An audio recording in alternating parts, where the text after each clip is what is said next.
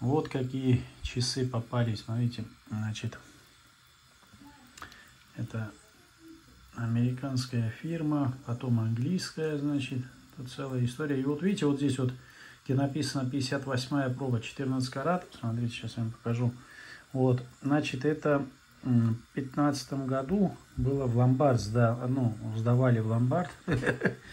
Вот видите, вот раньше вот по Англии писали вот так вот, когда в ломбард сдавали. Видите, вот здесь вот, вот, если видно, сейчас, сейчас, сейчас, сейчас, сейчас найдем. Блин.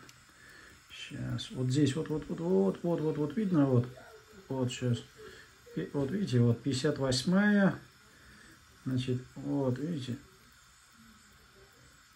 вот. Это значит, это то, что вот так начеркано, это значит ломбард сдавали. В общем, нульс, короче, нульс. Смотрите, сейчас я вам покажу. Смотрите. Вот это тоже 14 карат. Вот этот карабин я сам сделал. Не было здесь ничего. Это серебряный карабин, не отсюда.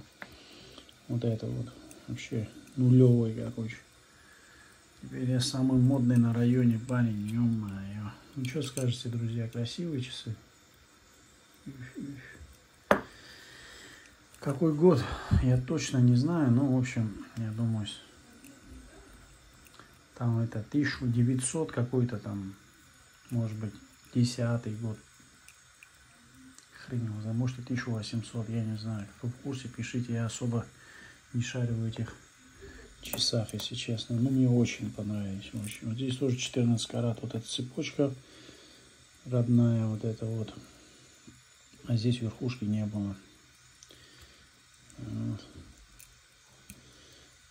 А так, с самого начала все думали, что это серебряные часы, если честно. Всем удачи.